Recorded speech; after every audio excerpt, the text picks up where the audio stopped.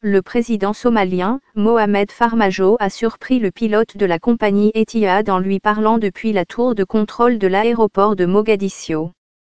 Allô? Etihad Airways, vol numéro ETD 682 en provenance de Darussalem pour Abu Dhabi, vous êtes dans l'espace aérien somalien, à 40 000 pieds au-dessus du niveau de la mer. Ceci est un message de confirmation.